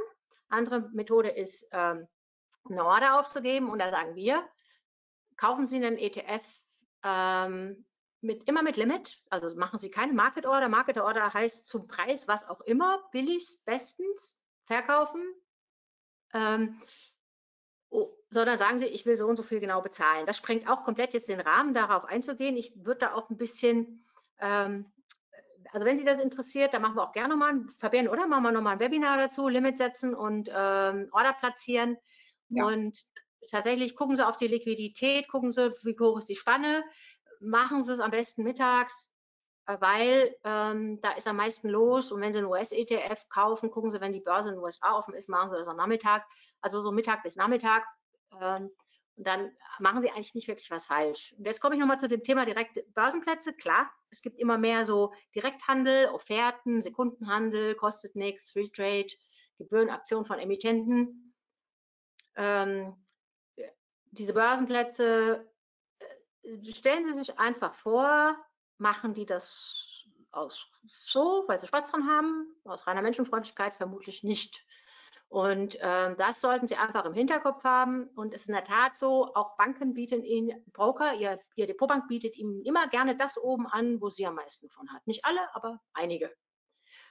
Und äh, diese Börsenplätze jetzt, ähm, äh, die verdienen jetzt gerade das, der vorhin, nach dem vorhin gefragt worden, ich glaube, es war Just Trade, aber die, die arbeiten alle so, die neuen, die kriegen Geld von den Marktplätzen. Also die haben Börsenplätze, die da angeschlossen sind oder außerbörsliche, sind manchmal Börsen, meistens nicht Börsen. Und die zahlen die dafür. Die zahlen sogenannte Kickbacks. Das ist öffentlich. Das wird gesagt, das wird ihnen auch ausgewiesen in ihrer Kostenausstellung mit der letzten Regulierung MIFID 2. Das muss gezeigt werden. Und da können Sie sich das mal anschauen. Dann zahlt dann der Marktplatz 1 Euro für Ihren Trade noch an den, die Plattform. Wird es einen Grund für geben, weil irgendwie muss der ja auch sein Geld verdienen. Und jetzt sind wir wieder bei den indirekten Kosten. Spannen und Fairness der Preise. Aber alles weitere hier an der Stelle sprengt den Rahmen. Ähm, gehen wir gerne wann anders zu ein und ähm, ich, wir, wir, erzählen das auch nicht, weil wir jetzt die Börse sind, sondern weil das, äh, ja, Sie können es ja selber nachprüfen einfach. Also, Sie wählen den Handelsplatz aus, Sie geben den Limit ein und Sie platzieren Ihre Order zu den Haupthandelszeiten. Das ist wirklich wichtig. Lassen Sie die Finger von morgens und abends. Da sind einfach nur die Spannen groß und die Preise sind komisch. Das lassen wir jetzt hier mal. Und jetzt kommen wir zum letzten Punkt. Lehnen Sie sich ganz entspannt zurück. Wir sind hier im Thema langfristige Geldanlage. Und es gibt ein paar Studien, die sagen, dass ähm, Anleger, Privatanleger im ersten Jahr eher Geld verlieren mit ETFs, ja im ersten Jahr. Warum? Weil sie versuchen, den Markt zu schlagen. Oh, cool, ich habe es verstanden, das ist so einfach. 5 Euro pro Order, rein, raus. Äh, ja, dann sind ja schon 10, aber ich habe es verstanden. Nein, es geht hier nicht um Market Timing. Und ich bin auch vorhin gefragt worden, also ich habe ja ein paar Fragen vorbereitet, ob man in den Bärenmarkt überhaupt einsteigen sollte ja, also wenn Sie sich entschieden haben, dass Sie langfristig Geld einlegen wollen und Sie wollen nicht den Markt timen, nicht geschickter sein, indem Sie möglichst billigst kaufen, was die allerwenigsten von uns schaffen, dann können Sie es genauso gut auch jetzt machen. Und spricht sogar ein bisschen was dafür, weil Preise gerade gefallen sind, jetzt schon wieder ein bisschen wieder hoch. Ja, also entspannt zurücklehnen, nur so viel reingucken, wie man es selber möchte und unbedingt muss. Das reicht auch völlig einmal im Jahr. Und Fabienne, vielleicht möchtest du vorstellen, äh, ja, gibt eine ganze Menge Angebote, die wir noch haben, oder soll ich es gleich mitmachen? Äh, sehr gerne. Moment, äh, da bin ich wieder. Genau, ich bin gerade schön am Fragen beantworten. Sie sind sehr fleißig, das ist super. Da gehen wir gleich nochmal auf ein paar äh, offen gebliebene Fragen ein. Also vielen Dank dafür. Genau, wie gesagt, ich äh, arbeite bei der Capital Markets Academy. Wir bieten online, was momentan natürlich hervorragend ist, gerade fürs lange Osterwochenende, äh, kostenlose Videos und E-Learnings zum Thema ETFs an. Die Folie ist verlinkt, wir schicken die nochmal zurück äh, Ihnen zu. Bei academy.deutsche-börse.com äh, digitales Lernen finden Sie diese kostenlose Programme. Wir bieten aber auch Präsenzseminare an äh, und planen dies wieder ab Juni. Ähm, Abendseminare für Privatanleger in Eschborn bei Frankfurt oder auch speziell mit Jessica Schwarzer und Claudia Müller und Edda Seminare für Frauen. Das äh, Seminar im Mai mussten wir jetzt leider absagen. Auch das gibt es im Mai am 14.05. und 20.05. online. Also wenn Sie sich dafür interessieren, äh, melden Sie sich gerne dafür an. Und für die etwas fortgeschrittenen unter Ihnen äh, bieten wir auch den Lehrgang zum zertifizierten ETF-Spezialisten an.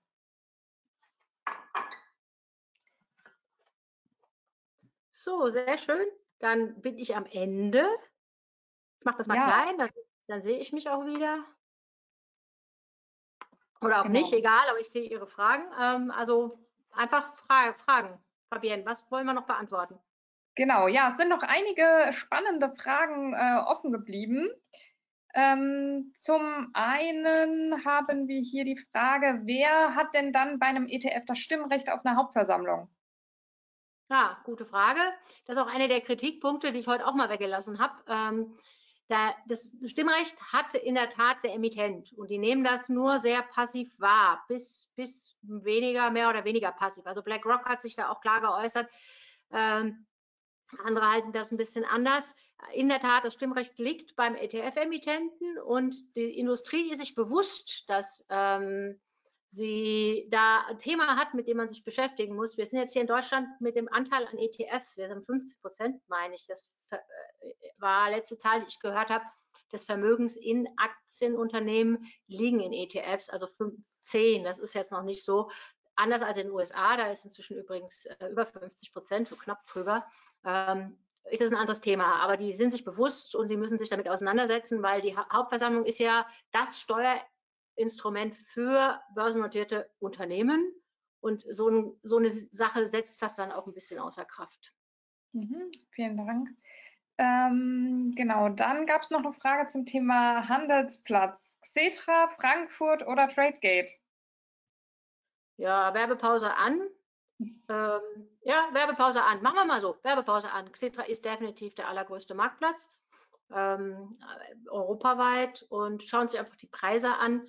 Damit will ich nicht sagen, dass TradeGate schlechte Preise macht, aber das ist einfach so, da sitzt einer und guckt, was kostet der ETF gerade auf Xetra und dann macht er ihnen ein Preisangebot. Und ähm, das sollten Sie sich auf jeden Fall, also sollten auf jeden Fall, Sie kriegen diesen Code, Geldbriefseite, den lassen Sie sich anzeigen in Echtzeit, vergleichen die einfach miteinander und dann werden Sie feststellen, dass ähm, insbesondere in Randzeiten tatsächlich Xetra immer noch die liquideren Preise hat, die, die enger und spannend. Aber probieren Sie es aus, Werbepause aus. Ja. Genau, das äh, führt mich dann zur nächsten Frage. Das Thema hatten wir vorhin schon angesprochen, Thema Trade Republic und kostenlose ETF-Sparpläne. Mhm. Ja, also ich hoffe, ich hatte die vorhin ausführlich beantwortet. Also die gerade auch die kostenlosen ETF-Sparpläne da muss man einfach zu wissen, wenn die von den Emittenten kommt, dann sind das äh, Werbemaßnahmen. Das ist so wie, ähm, äh, wie was weiß ich, Sie, stellen Sie sich vor, das ist wie der Stromanbieter. Sie wechseln jetzt den Stromanbieter, dann haben Sie Preise fürs erste Jahr, die sind andere Preise als fürs zweite und fürs dritte Jahr. Und das ist ähnlich in diesem System mit den ETF-Anbietern, also die, die, deren Sparpläne. Wenn Sie natürlich ähm, sagen, ich will das ausprobieren. Das hatte ich vorhin so gesagt. Also ich meine das auch so. Wenn, wenn man sich jedes Jahr mit seinem Strompreis beschäftigen will, gut, das kann man tun. Wenn man das nicht möchte, weil man eher so seine Ruhe haben sollte, dann sollte man nicht auf diese, dann sollte man einfach diese kostenlosen periodischen Angebote einfach mal außer Acht lassen. Und äh, dann grundsätzlich alles, was kostenlos ist, ähm, da wird irgendwo anders. Also jetzt nicht bei den Sparplänen, das kommen ja dann von den Anbietern, aber die Anbieter, übrigens, die Anbieter, die zahlen den Discountbanken dafür Geld, dass die deren kostenlose Sparpläne anbieten. Das äh, in allermeisten Fällen. Also das einfach nur mal im Hinterkopf haben, das ist ein riesiger Wettbewerb, der da herrscht. Ähm, natürlich, Sie zahlen an der Börse, zahlen Sie jetzt einen Ticken mehr, das ist klar, aber dafür haben Sie auch ein bisschen mehr Service. Sie haben ein offenes Orderbuch im Fall von Xetra, da können Sie sich das auch alles genau angucken. Sie haben transparent und Sie haben eine Handelsüberwachungsstelle. Hm.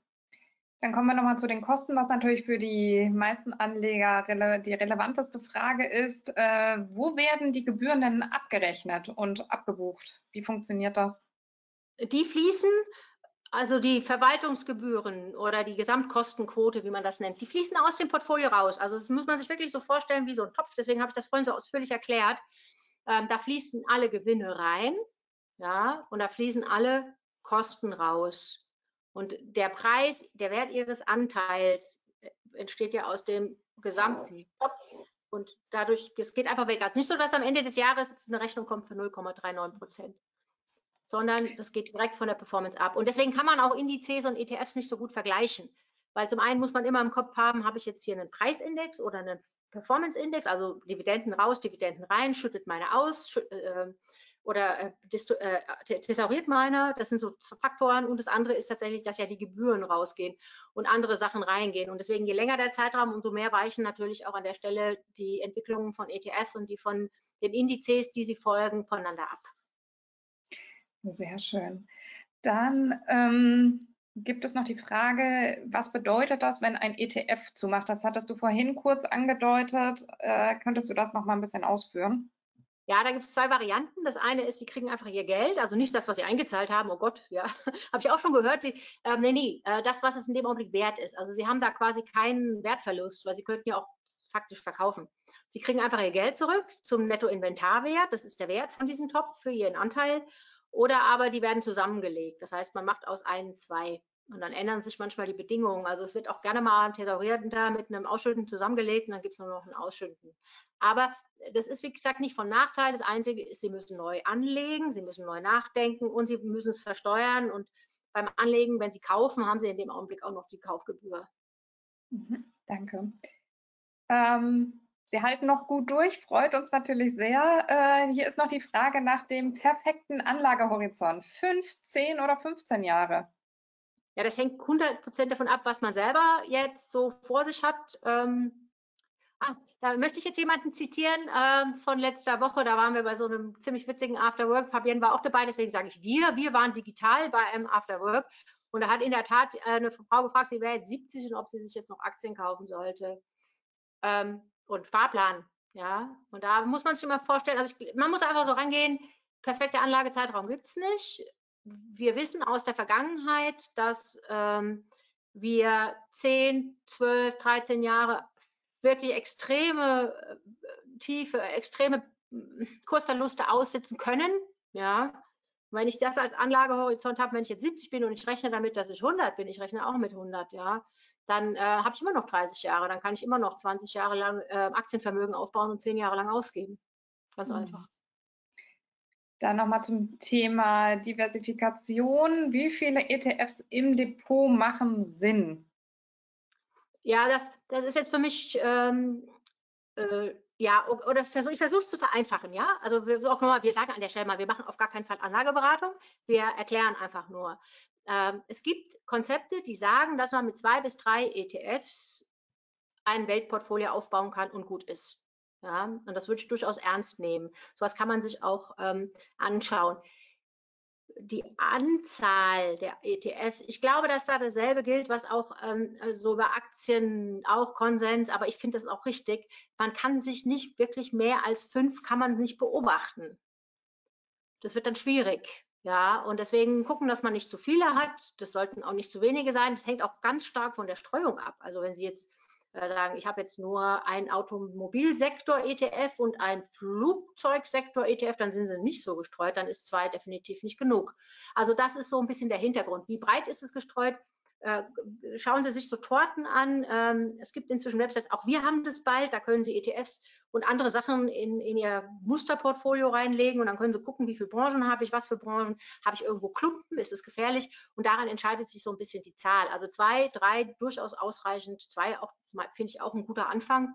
Und das andere, der dritte Punkt, den finde ich auch nicht so unwichtig, äh, soll auch ein bisschen Spaß machen. Ja, also ein Freund von mir der habe ich da lang drüber gesprochen und dann sagt die, ja, das ist so vernünftig, das ist so langweilig.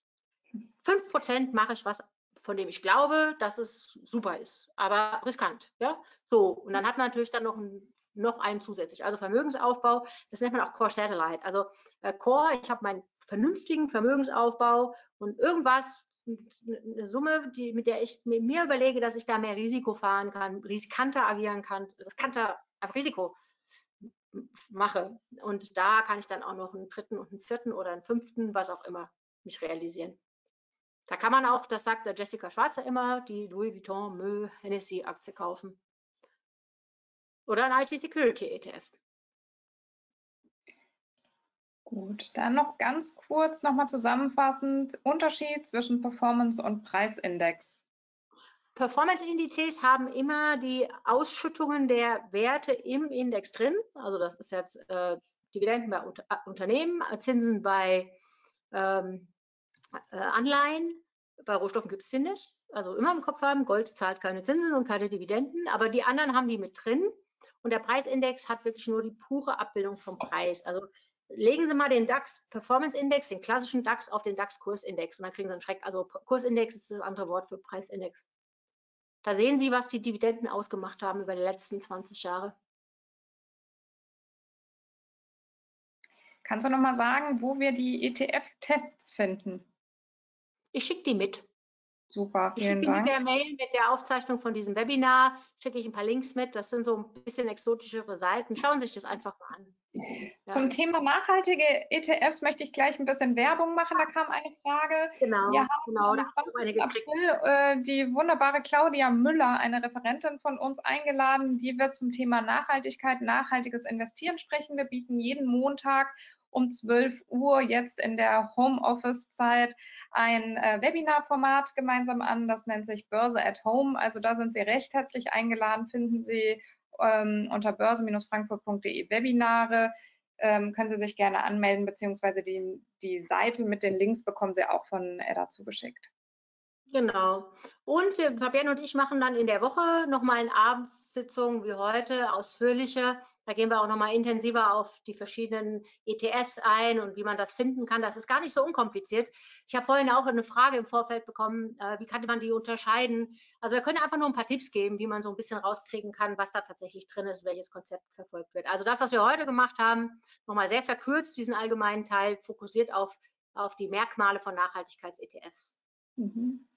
Genau, und dann gab es noch hier Anregungen zu einem weiteren Order äh, setzen, Limit setzen, äh, Webinar. Auch das hatten wir in der Reihe Börse at Home letzte Woche. Da finden Sie auch die Aufzeichnungen auf der Webseite börse-frankfurt.de. Also da können Sie schon mal reinschauen. Nichtsdestotrotz könnten wir das auch nochmal als längere Abendsession in der Zukunft anbieten. Genauso wie spannend ist ja auch das Thema ETF-Anleihen. Da hatten wir noch eine Frage. Ähm, entsprechend dem MSCI World ähm, gibt es so bekannte ETF-Anleihen. Ja, die gibt es. Das sind, ähm, ich habe jetzt die Namen von den Indizes nicht im Kopf.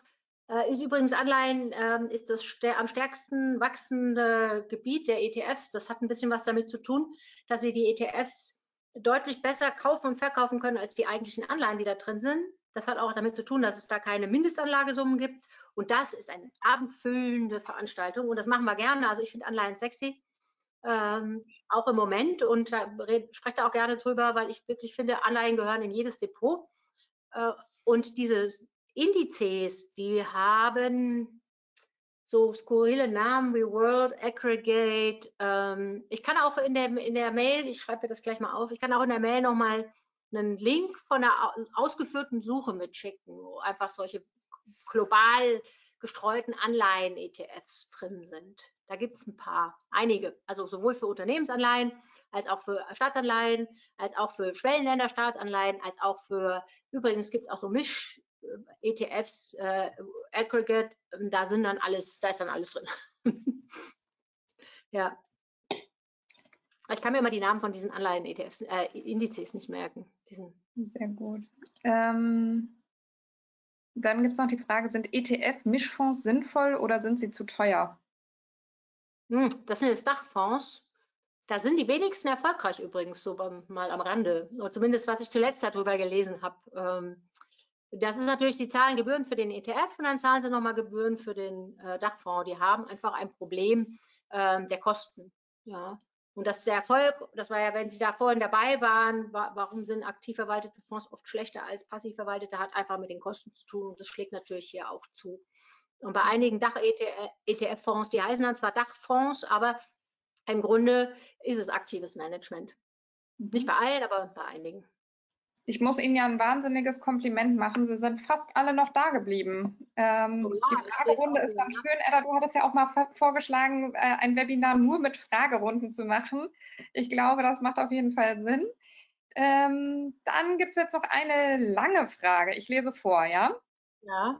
Wenn ich beispielsweise bei OnVista verschiedene ETFs, aber alle mit dem gleichen Index über mehrere Jahre vergleiche, kommen teilweise externe ähm, extreme Gewinnunterschiede zustande.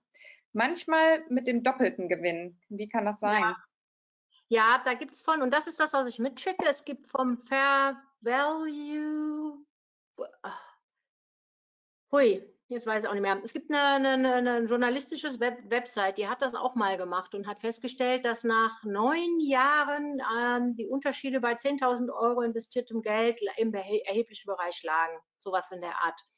Das hat tatsächlich mit dem Geschick zu tun, wie der ETF verwaltet wird. Also wie geschickt handelt der? Ähm, man kann, ob, also Sie haben jetzt einen DAX, Sie sind Anbieter von dem DAX-ETF, so, ich versuche es mal kurz zu erklären. Und dann wissen Sie, der DAX wird ähm, angepasst und dann müssen Sie ja die Werte, die Sie, der aus dem DAX, von den Aktien, die aus dem DAX rausfliegen, müssen Sie verkaufen und die neuen müssen Sie kaufen. Und das kann man besser oder schlechter machen. Dann Wertpapierleihe ist durchaus ein Effekt, also die, dass sie die Aktien verleihen. Ähm, also es sind so ein paar Sachen, vor allen Dingen Handelsgeschick gilt und Steueroptimierung. Und das, wir reden jetzt nicht über was Illegales, ja, gilt auch noch so als Faktor, warum da Performance-Unterschiede sind. Deswegen habe ich vorhin wirklich so lange erklärt, wie die Preise entstehen. Weil klar, der Wert von Ihrem ETF steigt mit der Größe des Geldes im Topf. Und je mehr der, der, ETF selber schafft, da zu erwirtschaften, umso höher ist dann der Wert. Und das macht einen Unterschied. Aber das ist so kompliziert, das ich jetzt, wollte ich jetzt hier nicht ausführlicher beschreiben. Das hätte den Rahmen jetzt hier definitiv gesprengt. Aber ich schicke das mit zu dieser Website. Super. Hier kommen viele, viele Dankesgrüße auf jeden Fall. Freut uns natürlich auch, dass Sie äh, das Webinar loben und dass es Ihnen so gut gefällt. Äh, die allerletzte Frage für heute würde ich jetzt einführen. Ja. Ähm, Kosten von Hedging zum Abschluss. Äh, minimal. Also wenn Sie jetzt mal vergleichen, äh, ich habe jetzt auch nichts im Kopf, gucken Sie sich bei so einer Suche mal einen gehatchten oder nicht gehatchten an. Das erkennen Sie entweder am Namen oder Sie geben in der Suchfunktion ein, währungsgesichert oder nicht. Oder aber Sie sehen ähm, Fondswährung. Ja, da sehen Sie das auch. Ähm, und da vergleichen Sie einfach mal und da sehen Sie, dass in der Regel die gehatchten 0,0 äh, teurer sind. Also so ein bisschen schon, aber nicht viel. Das ist wirklich minimal. Super, vielen Dank. Wir haben noch eine Umfrage für die noch Dagebliebenen. Äh, äh, dokumentiertes Feedback ist natürlich auch schön für uns zu wissen, wie Ihnen die Veranstaltung gefallen hat.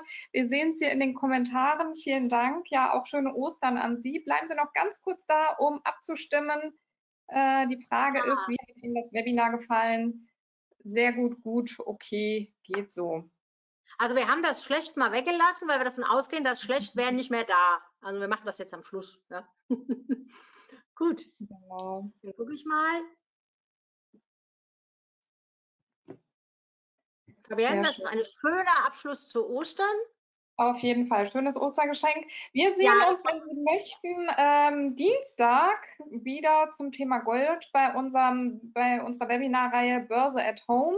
Haben wir einen sehr interessanten Referenten eingeladen. Oder für alle Damen, die möchten, am Mittwoch 19.30 Uhr haben wir ein Online-Afterwork geplant mit äh, Jessica Schwarzer und Claudia Müller die über ihre Erfahrungen als Börsenbuchautorinnen sprechen und entsprechend auch noch ein bisschen ja, aus dem Nähkästchen plaudern. Also würden wir uns freuen, wenn Sie da dabei wären. Ähm, die Anmeldung finden Sie unter börse-frankfurt.de slash Webinare oder auch in der nachgängigen Mail von Edda Vogt. Danke, Edda, war genau. super spannend, äh, lehrreich lang, aber schön, dass Sie alle durchgehalten haben. War kurzweilig. Danke Ihnen. Schönen Abend. Schöne Ostern und bleiben Sie gesund.